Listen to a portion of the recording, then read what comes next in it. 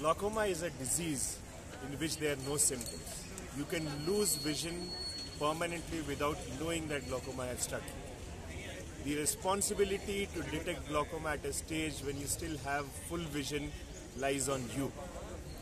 Come for a comprehensive eye examination. Give us those two hours, three hours in one year for your eyes.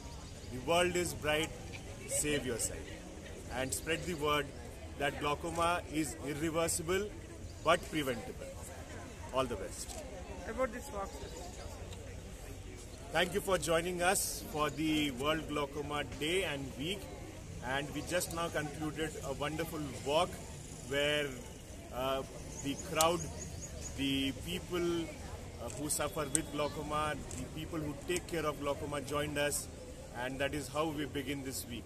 All the best.